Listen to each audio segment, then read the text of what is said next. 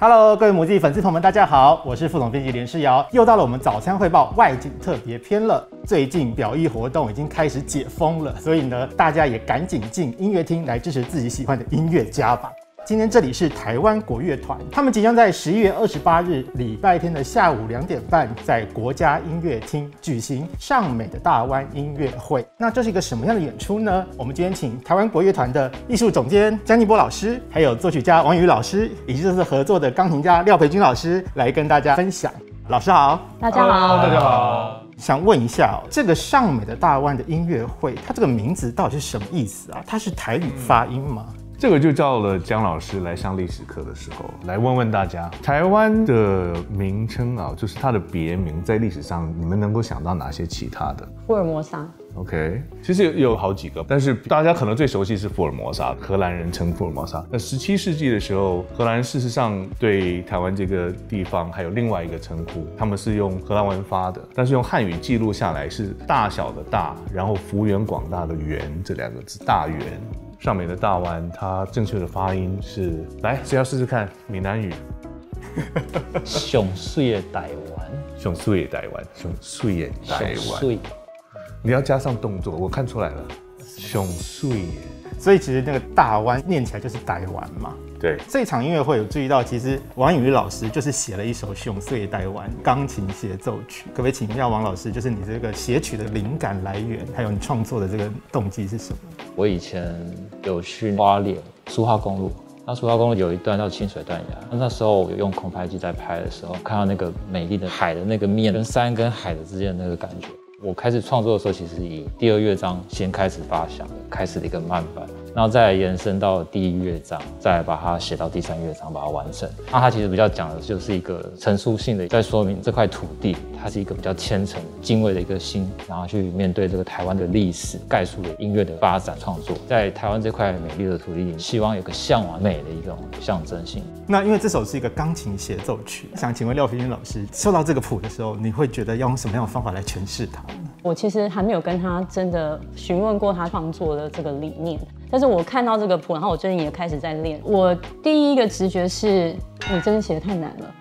把它写好写满啊！对，真的就是对钢琴家有非常大的挑战，就有很多的大跳，然后几乎没有喘息的空间，就是一直技巧性上不断的发展，在一个很快速的速度下面，所以我觉得对钢琴家来讲，耐力跟挑战性是非常非常高的。我看到这个谱，我觉得有一种天地人的感觉。第一个乐章是非常壮阔的，我真的是有这种开垦跟发展的感觉。那第二个乐章，其实我觉得是蛮个人情感上面的，就是比较人的这个部分，我觉得是比较亲密的，然后写的非常的美。第三个乐章，我就觉得就是比较土地性的，对，就可以听到很多这种，好像我提到说有用到原住民的素材嘛，可能就是从身体出来的这种节奏感，这种体力性的。然后我会想到 Bartok，就是很片段是马上切换，然后完全没有逻辑的这种创作，我觉得非常新颖。那因为这首是一首钢琴协奏曲，那我也很好奇是说，哎，钢琴跟国乐团，当然到现在已经不是一个很不常见的组合了，可它还是一个东西方文化交融的组合。那不知道三位老师以你们的观点来看，要如何去做这样子的东西方音乐文化上面的一个融合？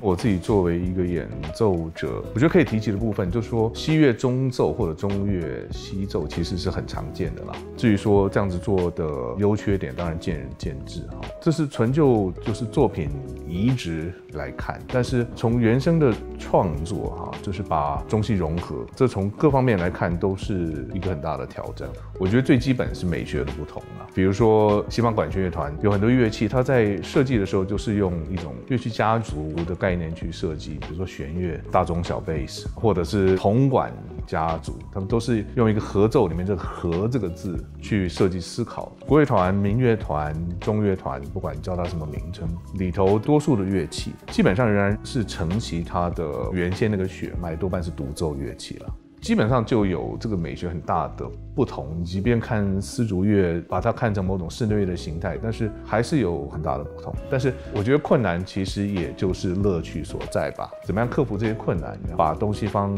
的美学能够融合，能够创作出一个很有时代感，甚至产生音乐上的哲思的作品，应该对作曲家们来说是很有乐趣的。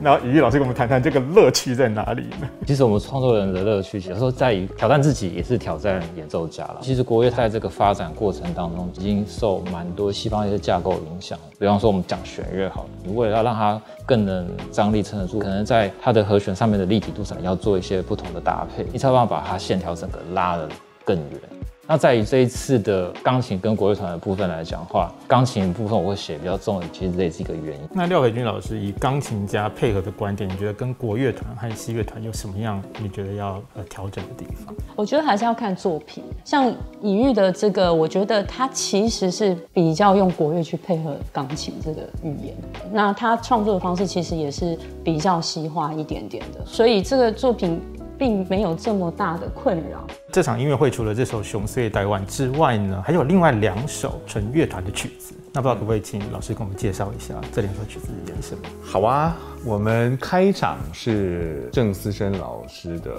江波无影》。那我会选这首，是因为里面有“江波”两个字。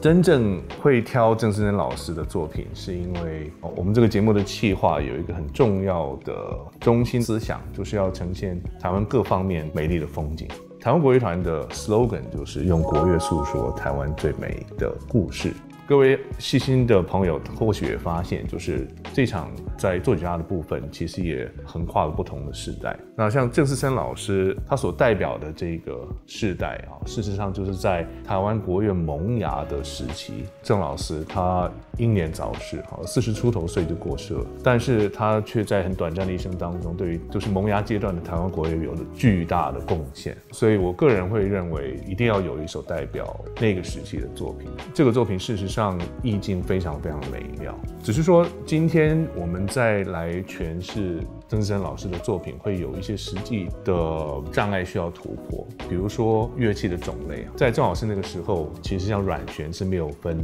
这么多种，没有分到大软、中软、小软。可是我们今天再重新面对这个曲子的时候，我会觉得需要把类似这样的部分重新做一些梳理。让它的配器是可以更丰满，所以这个部分我也会做这样的调整。所以简单讲，就是把这首曲子追求它理当有的意境，但是声响是比较现代化。那下半场的这个大部头的《台湾四季》，其实跟台湾国乐团有很深的渊源。关乃忠老师的《台湾四季》，每一季有三首作品。那事实上这一套作品就是完整的演出啊。已经是十四年之前的事情。那事实上，这也是当初我们的企划组在协同规划的时候提出建议，说或许可以来思考重演这部作品的一个很重要的原因。所以，我们这一次重新扮演完整的《台湾四季》，而且可能也值得一提，就是这套作品当年也是第二十二届的金曲奖，让台湾国乐团拿到最佳专辑的一套作品。关乃忠老师，观众朋友要是